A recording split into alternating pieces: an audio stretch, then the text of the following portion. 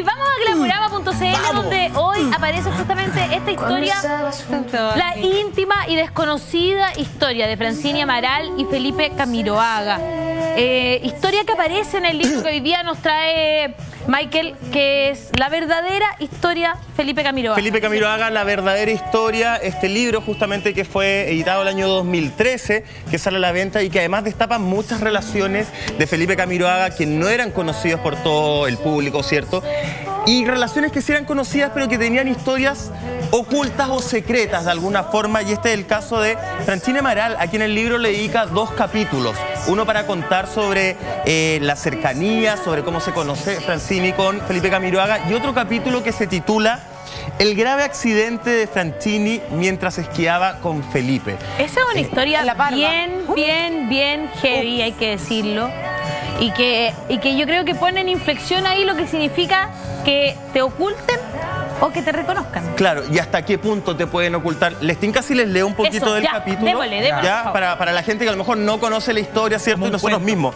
Mira, dice en, en, otoño del 2007, Felipe Camiroaga pololeaba con Lorena Álamos, de quien hablamos ayer, y tenía un romance paralelo con Franchine Amaral graduándose como un maestro de la infidelidad. Ellos subieron, Franchini y Felipe, subieron a Valle Nevado junto a su gran amigo, director ejecutivo de Televisión Nacional de Chile en alguna época, su mujer y sus hijos, y el periodista Gonzalo Ramírez, su esposa Paloma Armijo, íntimos de Felipe, tanto que fue padrino de la hija del matrimonio. Se quedaron, Felipe y Franchini, en una bonita casa y la brasileña se calzó el equipo arrendado para esquiar. Estaba feliz de la vida, en un sector bajo, perfecto para aprendices. El conductor le enseñaba de a poco, paso a paso, sujetándola por la cintura, pero muy luego él se entusiasmó. La, llevó a tomar el andarivel y comenzaron a subir. Eh, la joven veía cómo aumentaba la altura, sentía la montaña venirse encima y entró en pánico. Hablan de Franchini. En el andarivel. Eh, Felipe, tengo miedo, me voy a sacar la cresta, no sé esquiar, se quejaba ella. No, le decía Felipe, no mi amor, no tengas miedo, tú lo puedes lograr, le respondía Camiroaga cegado por la adrenalina del momento, hasta que él saltó del andarivel y descendió hecho un bólido. Ella lo siguió como pudo, muerta de miedo y pálida como la misma nieve. Franchini se deslizó por un pequeño tramo y de inmediato comenzó a perder el control. No tenía idea de cómo encauzar el rumbo y menos cómo detenerse. Se fue hacia un costado de la pista, se dio un tremendo golpe y su alarido se escuchó desde lejos. Sus esquís quedaron enterrados en la nieve y ella se dobló las dos rodillas hacia atrás. La punzada fue tan intensa que pensó que se iba a desmayar. La cabeza le daba vueltas, experimentó un fuerte mareo y deseos de vomitar. Como bailarina, Franchini conocía su cuerpo y ese dolor lacerante como nunca había experimentado. Era señal de que algo grave le había sucedido a sus piernas. Pensó lo peor, que no podría volver a bailar. Y al mismo tiempo sintió vergüenza de verse allí, atrapada, sin poder moverse. Se propuso aguantar hasta lo imposible y salir digna de ese entuerto. No se podía dar el lujo de hacer un escándalo y menos frente a este amigo, director ejecutivo de Televisión Nacional de Chile, amigo de Felipe Camiroaga. El mandamás de Televisión Nacional de Chile, su jefe. Llegaron los servicios de rescate, la subieron a una camilla mientras Felipe, mientras Felipe no fue reconocido porque la gruesa ropa de invierno le tapaba la cara. La joven apretó el estómago, intentó ocultar el sufrimiento porque además le colocaron una bolsa de hielo que le quemó la piel y le dejó una marca para siempre. Oh, Amaral bajó el perfil a la caída frente a Camiroaga e incluso pidió que el grupo siguiera con sus actividades, pasándolo bien. Aguantó hasta el regreso a Santiago. Posteriormente, un chequeo dio como resultado una doble luxación y la rotura de dos ligamentos en la pierna izquierda. Oye, dos cosas. dos cosas. Dos cosas. Eh, curioso, ¿no? dos pololas de Felipe con accidentes graves, ¿no? En este caso, mm, en su momento. Le gustaba la vida al aire libre. Claro, Fernanda Hansen. Mira lo que dice Catherine Alejandra a propósito de nuestra pregunta que también está en el GC. GC, por favor. Claro que es, importante. Es importante para ti que tu pololo te reconozca. Y Catherine Alejandra dice, claro que es importante. Quien no reconoce una relación es porque algo esconde o simplemente no existe amor. ¿Qué les parece eso que dice Catherine? Yo, yo personalmente estoy 100% de acuerdo con Catherine Alejandra. Tú no, Natalie, ¿por qué? Porque depende del afán. Porque, por ejemplo, hay personas que claramente no reconocen porque se avergüenzan o porque quieren tener eh, quizás capillas y catedrales y por eso no reconocen. Y hay personas que intentan cuidar. Si el afán es proteger, por ejemplo, en el caso de Yendel, en que la vimos llorando en vértigo, porque, y porque en el fondo se había un espacio muy íntimo, que era con respecto a su relación, que, de la cual ella nunca hablaba, porque ella quería protegerlo a él. No, no, no tiene que ver con reconocerlo, sino que en el fondo, si ella hacía pública esa relación, probablemente podían llegar a él y hacerle algún daño, siendo que él también trabaja en medios de comunicación. Entonces yo creo que tiene que ver mucho con el afán de la persona. O sea, a veces no, no, no lo hacen público, no lo reconocen, porque el afán es proteger. Cuando es por que- vergüenza es otro tema. Hay una gran diferencia, Osvaldo, entre que haya un acuerdo, por ejemplo, que yo, Yendelin, te quiero proteger y tú digas, sí, ten- por favor, protégeme, no me nombres, no me muestres. Y otra cosa es que no te reconozcan, no sé, son dos cosas distintas para mí, por lo Y menos. podemos llegar así, podemos. Ahí, Aguántame, Podemos aguántame hacer- porque la conversa está rica. ¿ah? No sé si están de acuerdo conmigo, pero está rica la estamos, pa- conversación. estamos pasando regio. Una de la tarde, 32 minutos. Las cabras en la casa están vueltas locas escribiéndonos, respondiendo. Es importante para ti que tu pololo te reconozca. Escribemos, te leemos en la tela color. ¿Cuándo, Alejandro Valle? A la vuelta de una pequeña pausa comercial, pero con todo, por supuesto. Dale. ¡Si baja el! Intrusos. Ya volvemos.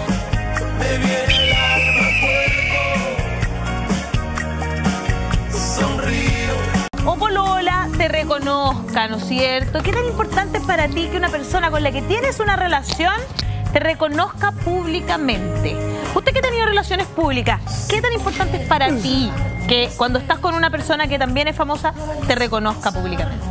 Ah, a mí me da lo mismo. ¿Te da lo mismo? Sí, de verdad, me da lo mismo. Porque, gracias a Dios, con todas las personas que he estado, también siento un grado de admiración por lo que hace. No, no- nunca he tenido el- ni la voluntad ni las ganas de esconder a alguien. También pienso que si escondí a alguien, generáis mucho más expectativa y te van a perseguir más. Yo ¿cachai? encuentro que tienes toda la O razón. sea, Para la prensa, ya cuando ya se saben, verdad. ya no es tan hoy atractivo. Es verdad. Osvaldo, Yo le encontraba razón al tweet hasta que escuché a Natalie Chilet y me enamoré. No. Voy a leer el tweet y voy a dar mi opinión. Eh, Claudia Alejandra dice, para mí eso es importante. Mi ex acaba de negar a su polola que es falta de respeto hacia esa mujer. Voz en off, I love you, te lo hice de verdad. Qué lástima, la verdad, que no es bien. Eso lo escribió él. Pero bueno, fuera de eso, yo, yo te encuentro razón, Natalie, porque a ver, hay gente que, o sea, reconocer al pololo o a la pareja con la que uno está me parece que es bien, está correcto. Es algo que uno debe hacer cuando está en pareja. Eso pasa bien. Pero ¿qué pasa con la gente que es inestable emocionalmente y más encima es pública? Sube pareja, subiría pareja a cada rato, y ojo, porque eso se lo criticaban mucho a Valentina Roth, que ella subía parejas o pololos cada cierto tiempo y fue muy criticada, lo comentamos también acá en el programa. Entonces me parece que el factor ser conocido y más encima ser inestable emocionalmente, igual te juega en contra al momento de reconocer una pareja. Pero ¿sabéis? Pero en el caso de Felipe también, ¿ah? Pero salgamos hablamos- de los entonces, espérame, conocidos. espérame, pero tú, tú crees entonces que Camiroaga estaba no reconociendo a todas estas chiquillas en general porque para no parecer una persona muy inestable. Yo creo, yo creo que era muy inestable emocionalmente. Yo también creo. Entonces, eh, él no iba a reconocer esa inestabilidad. Él era un hombre perfecto, Felipe Camilo. Sí, pero ojo, ¿qué le llaman una debilidad reconocer? como eh, falta de emocionalidad. No, perdón. Pero ojo, ¿a qué le llamamos reconocer? Porque si nos vamos, y, y yo sigo insistiendo, si nos vamos a las líneas del libro, no es tampoco que Felipe Camiroaga tuviera escondida a, a Franchini, a Fernanda Hansen, a Lorena Álamo, en muchas partes las llevaba a grupos con sus amigos, que no lo dijera públicamente, que no saliera dando una entrevista es otra cosa. Necesitamos que lo reconozca para todo el mundo. Si lo llevamos para las chiquillas de la casa, yo no estoy de acuerdo con eso de que hay ¿Puedo que reconocer y tienes que. Sí, pero muy breve, Catita, para aterrizarlo a las, a la- a las amigas que nos están viendo. No es necesario, yo sigo insistiendo. Te vaya a dar los mismos besos, vaya a ver las mismas películas, vaya a compartir de la misma forma. porque el reconocer o el darle el nombre a una relación, para mi juicio, es para el resto? Para que el resto vea, para publicar en las redes sociales. Da lo mismo, los momentos más ricos son los que uno no tuitea. Oye, pero ¿no te O sea, parece vivirlo en la importante interna, también? viví el amor igual. Cuando uno está enamorado, y cuando uno está realmente enamorado, quiere gritarle a los cuatro lo Si el otro no lo- necesariamente- enamorado. Ah, pero No el otro no lo quiere gritar, yo pienso igual que la amiga. Si la persona no lo quiere gritar, es porque no está Pero, enamorado de Felipe. Que yo creo que acá eh, es distinto, porque yo siento que Felipe era un loquillo, era un loquillo que eh, gozaba la vida y quizás eh, era un poco inmaduro en los temas de relaciones, pero él también era un caballero, porque claro, ¿qué hubiese sido o cómo estaríamos hablando ahora si fuese al revés? Que él hubiese dado a conocer, como dice Michael, a todo el mundo, todo el listado que él tuvo a su poder. Sería un machista, sería un poco hombre, sería quizá dirían, ay, él se jacta de... Entonces él lo hacía piolito y lo hacía bien. Es como el dicho, el que come callado come más bien. Bueno, y también porque se le cruzaba. Oye, Ahora, y por último, que- como consejo está bien. Yo entiendo que uno como hombre o que uno como mujer se puede sentir pasado a llevar si es que no te reconocen públicamente. Lo entiendo, perfecto, para los dos, para los dos ámbitos. Pero también creo que el exceso es eh, también como contraproducente y ahí ya, llegas a ser un Pero, macabre. Roberto, yo me gustaría, sí, me gustaría detenerme en lo que estabas diciendo tú antes de irnos a comerciales, Ale. Que yo creo que las relaciones de pareja no hay nada que sea prohibido, que sea malo, que sea bueno, sino que es el acuerdo que tienen ambos. Por que ejemplo, yo estoy de acuerdo si hay- contigo, en eso sí. Si hay una mujer que quiere ser reconocida y el hombre se hace el leso, bueno, eso es bastante feo. Pero si quieren proteger la relación para no sentirse expuestos, que vengan malas energías, que vengan malos comentarios, eso es un acuerdo en pareja y me parece bien. A eso me refiero. O sea, el fondo. Claro, eh, o es sea, la- entonces el tú no decías, porque yo aquí, a mí lo que me parecía es que él siempre ocultaba a sus parejas. Y ellas no les quedaba otra que bancarse eso. Entonces, que yo- por eso no me parece un acuerdo. ¿Me, me explico? No me parece que haya Nunca lo existido lo que tú dices. Eh, ¿Por qué no leemos un poquito más del libro? Porque la historia, esta, esta historia de la nieve es súper interesante, pero también había otro capítulo, son dos capítulos donde se habla de su relación O con sea, de hecho, eh, el primero del capítulo que empieza a hablar de Franchini dice la verdad de su extensa relación con Franchini. Y, y habla justamente de, se mezcla acá el tiempo previo a la muerte, al lamentable fallecimiento de Felipe Camiroaga, y también de cómo inicia la relación. Mira, parte este capítulo diciendo, entre comillas, dice, te amo. Le juraba Felipe... Te amo, entre comillas, le juraba Felipe a Lorena Álamos y a los minutos le estaba haciendo la misma promesa a Franchini Amaral. La bomba sexy que se contoneaba en el programa H. Bahía, en el grupo H. Bahía, y a la que también quiso hasta el día en que murió. Con Amaral vivió un romance que se mantuvo de manera paralela mientras él estaba con la ejecutiva publicitaria y con la periodista Fernanda Hansen y era amante de Kenita Larraín y otras. Esto es en base al libro Felipe Camiroaga, La verdadera historia. La bailarina fue otra de las mujeres que tuvo en su corazón hasta la tragedia de Juan Fernández. Porque días antes de ese fatídico accidente aéreo y cuando Camiroaga hacía planes para el futuro con Álamos y Hansen a la vez, tomó su iPhone y le envió un mensaje de texto a Franchini. Abre comillas, citando el mensaje de texto. Sé que estás en otra, pero te extraño. Es el mensaje, el último mensaje que le escribe, según No este te libro, creer. Felipe Camiroaga a Franchini Amaral, mientras él estaba, ¿cierto?, realizando planes de casa con Fernanda Hansen y con Lorena Álamos, según Felipe Camiroaga. Oye, abrir un paréntesis, que heavy eso. O sea, encuentro que ese, ese mensaje, qué tremendo quedarte con esa sensación que a lo mejor ni siquiera le contestaste, que te, te escribió, te extraño y no alcanzaste ni a decirle ¿Sabes yo qué? también, no sé. Ale, yo lo quiero defender porque de verdad yo creo que él era un tipo sumamente atractivo, sumamente encantador. Obviamente que podía tener, perdona, pero si tú eres tan rico y tan encantador, si puedes agarrarte a todas las minas, ¿por qué no hacerlo? Pero si nadie dice que no lo ¿Cachai? haga. Exacto. ¿Por qué, vaya, ¿Por qué te vayas a negar a tener todas las mujeres que puedas tener? Entonces, si él no Ah, bueno, reconoció por a ni respeto, una, po. espérate, si Por él no reconoció a ni una públicamente es porque realmente a lo mejor no estaba enamorado de ni una. Le gustaban todas. Perdón, a mí me ha Ya, pues, pero, pasado. pero hay una diferencia gigante entre que tú sepas. O sea, yo he tenido muchas Se relaciones dieron así. a conocer las mujeres. ¿Por muchas qué? Por accidentes. como- La Fernanda Hansen se dio a conocer por un accidente gravísimo que Pause, tuvo. pause, pause. ¿Por qué Oye, tenemos está redoble de la tambores? conversación. ¿Qué pasa? Está ¿Qué buena la conversación. Y tengo una pregunta al hueso para las cabras en la casa en el A ver. GC y en el Twitter. Dice así. Sí se puede. ¿Se puede amar a más de una persona a la vez? ¿Te ha pasado? Pregunta. Cuéntanos. ¿Está rica la conversa? Dale, intrusos, te leemos en la tele. ¿Cuándo, Alejandro Valle? A la vuelta de una pequeña pausa comercial, pero es así, cortita, no se cambie. Cuéntenos, por favor. Yo- Intrusos. Ya volvemos.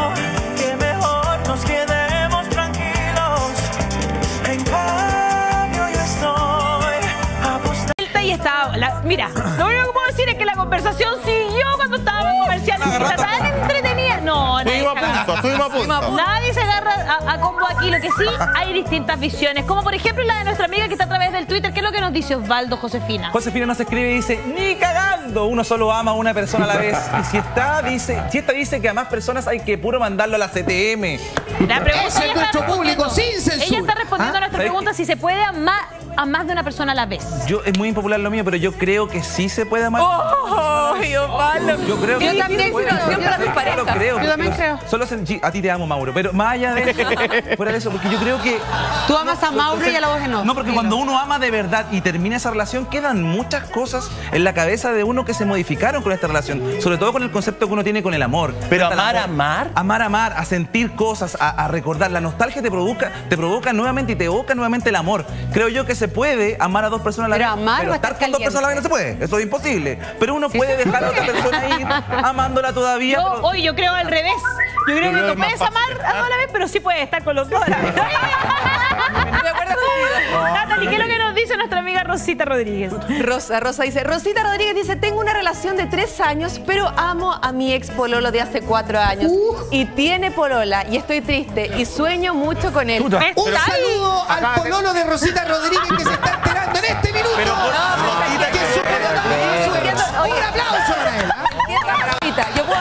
Oye, perdona. ¡Qué momento de sinceridad de Rosita! algo, y uno puede estar en la cama con esa persona, cerrar los ojos y pensar en el otro. Bueno, pero eso no es infidelidad. No, pero ¿sabes qué? En todo caso, yo entiendo a Rosita. A mí me pasó una vez. Me pasó que yo, claro, terminé una relación y empecé otra. ¿Ya? No, vi- no hice el duelo. Y después estaba en esa relación y lloraba por el otro.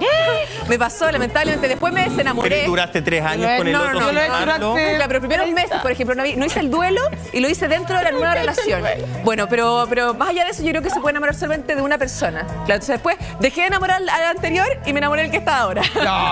¿Lo lograste? lo logré, lo logré, sí. Qué bueno. Respeto. Oye, mira, nosotros tenemos algo, un material que nos pareció súper interesante mostrar, es un material de archivo, y que es una cuña que le sacamos a Franchini Amaral pocos días después del accidente. fallecimiento de Felipe Camiroaga en ese tremendo accidente. Mira lo que nos dicen en ese entonces. Ha sido días muy, muy complicados, me imagino que para todos, eh, para mí más porque obviamente los conocí a todos. Eh, es un duelo y un dolor que yo no sé cómo me va a pasar. Eh, es un sentimiento raro, un sentimiento que a la vez aún tengo un poco de esperanza, eh, como uno encuentra en algunos cuerpos, aún sigue la esperanza dentro de uno de que puede pasar un milagro, como muchas veces han pasado en varias partes del mundo, y yo estoy aferrada en eso, aferrada a que, que pueda pasar un milagro. Frantini, de alguna forma tú tuviste una relación especial con Felipe. ¿Qué recuerdos guardas de él? Mira, de verdad, eh, no voy a hablar de Felipe. Yo principalmente ahora es como, no, no, na- y tampoco tuve cuatro años que me hacían miles de preguntas y no es ahora que voy a estar hablando algo. Eh, Felipe lo conozco hace 10 años, desde el pase lo que pase. Eh, un equipo increíble, un dolor increíble. eh, es, todo muy raro. Es, todo muy raro. No, aún, intento entender, entenderlo y entenderme, porque es, es un, es un sentimiento que, duele y no sé cómo manejarlo bien, pero estoy siendo apoyada por mi familia, por mis amigos y yo creo que eso es lo que importa. Estas cuñas a Francini, esta eh, importante material que, que para recordar hoy, ¿no? Sí, esto fue el 8 de septiembre del 2011. Esa manito y esa vocecita que escucharon ahí eran las mías. Mira, De hecho. ¿me estás eh, diciendo? Sí, era yo, era... Francini no había hablado absolutamente Cuando nada. trabajaba, Habían dice, pas- aunque- sí, ya, aunque no, había, no había pasado nada, había Cuando pasado muy poco, seis días desde el accidente y encontramos a Francini justamente con su mamá. Ellos estaban almorzando en un lugar y, y bueno, la, la cuña fueron varias preguntas, pero ella siempre con mucho respeto en no hablar de Felipe. Ella de hecho dice, todavía como que tengo la esperanza en ese momento eh, de que exista algún milagro, el sueño de que el, el cuerpo finalmente se encuentre dentro de los que no han encontrado acá. Francini siempre se ha mantenido en esa línea, en esa línea de no hablar de su relación de, de Felipe Camiroaga. Nosotros nos hemos ido enterando por otras cosas, otros detalles, pero claro, ella estuvo harto rato y lo pasó de alguna forma. Yo siento que la Francini sufrió más de lo bien que lo pasó. Es que yo Me creo da que la eso es, impresión. quizás, no sé, el como, amor. como, claro, el amor también, ¿no? El amor es Oye, así. Oscar, Pero el amor no, que no podemos dejar de preguntarte porque tú fuiste pareja de Francini también por su carácter, su manera de ser. Ella es así, reservada en general. De hecho, cuando tú entraste al reality y le fuimos a preguntar por ti, ella tuvo las mejores palabras para ti. Sí, sí, ella era, es una mujer súper especial. Es súper reservada, eh, tal cual la escuchan en la entrevista y la ven, es así. O sea, nunca jamás, para, para mí con ella tampoco fue tema, Felipe. eh, lo solucionaba ella cuando le abordaba las preguntas, pero no sé, yo guardo los mejores recuerdos de la Fran. O sea, ella es su personalidad, quizás Sí. también ella estaba de acuerdo en que esto fuera reservado, ¿no? No lo sé. O sea, No lo sabemos, pero, no. pero como tú la, la conoces, puede ser, Es que, digamos, es ¿sabes parte de su me personalidad. un poco, Ale, por el tema que si la Fran no habla de esto, no tengo por qué yo hablarlo Por por, mucho, supuesto, no te ¿cachai? y de no verdad te me incomoda porque ella ha sido súper respetuosa conmigo en momentos que yo más necesité de alguien y estuvo ella. No, no quiero hablar. Por eso queríamos dejarte un poco fuera de, de esta conversación, para incomodarte además. Se agradece. Eh, así que, pero era un poco para saber si ella también era problema. así, un poquito reservada también. Y Luciérnaga, fíjate, Roberto Lela, porque ella tiene una, una particular visión. Dice, yo creo que sí se puede, que el tener solo a una persona es algo que eh, nuestra cultura nos ha impuesto. Saludos. Mira, Eso dice Luciérnaga, ella cree que sí se puede amar a dos personas. Yo también ¿Qué también creo que se puede amar a más de una persona a la vez. Claramente, quizás a una la vas a amar más y eh, tener más conexión con una persona, pero claramente te pueden ir pasando cosillas con otro y Pero ya, llegar al pero amor. esos Y son llegar, Eso- eso- cosillas, esa es la pregunta. perdón, que te pueden pasar cosas con alguien, obvio que sí. Sí, pero perdón. Obvio que sí. Pero Pero, ¿puedes llegar- amar así Pero profundamente? es que, por ejemplo, lo que decía también el otro tweet, lamentable que eh, me, me parece que, como dice la voz en off, falleció el pololo, el anterior, el del tweet. Eh, pero puede, pasar, eh, eh, hablo de Rosita, pero es que puede pasar de verdad. ¿Qué pasa, por ejemplo, si tú terminaste una relación importante con un ex y te vuelves a encontrar con él? Te pueden pasar cositas Todo y el después rato. puedes volver a amarlo nuevamente y tú estando eh, con tu pareja y tú con su otra Pero pareja. ojo, la, la Rosita en el fondo está con dos personas, pero no ama su No, con pololo de ahora. Perdona, es que está ¿sabes con el, qué? o sea, está con el pololo pensando en la otra persona. A su Eh, ex eso es sí. a quien ama. Pero no, no a la persona a que está Está muy mal, Rosita. Está No, muy Rosita, mal. el mínimo que la paguen a en buena onda. ¿verdad? te bancamos hace final. Pedro Engel, que yo de A verdad ver. que me gusta mucho lo que él dice, que el corazón es un jardín. Uno puede tener una sola flor o un solo árbol. El jardín tiene muchos árboles y muchas flores. O sea, de verdad uno tiene la capacidad de amar a muchas personas. ¿Por qué vaya a amar a una sola persona? Está sobrevalorada la, la Monogamia. Encuentro yo. La Sí, fidelidad. La fidelidad y la monogamia. ¿Por qué? Es decir, El sexo está sobrevalorado. Yo Por encuentro que uno respeto, puede- pues, Cata. ¿Ah? Por respeto, siento Pero que... por- es que a eso voy, está sobrevalorado. Pero es que ¿Por sí, qué? es que yo ¿Por insisto, yo, para mí siempre va a ser, si es entre adultos la relación, O yo siempre voy a decir, aquí es mientras hay un acuerdo. O sea, Pero si yo acuerdo con alguien que esa persona puede tener más sea, pareja y nuestro amor es libre, supuesto. obvio que sí. Como el caso de Pero si te engañan, hay Por otra supuesto. cosa, porque ahí te están traicionando. pues. Pero es que la traición es fea, pero Por eso. mientras uno converse, ¿por qué yo tengo que amar a una sola? Yo tengo la capacidad de amar y que me gustan muchas personas. Tienes ¿por que tienes, no? tú tienes así Bueno, Pedro Angel tiene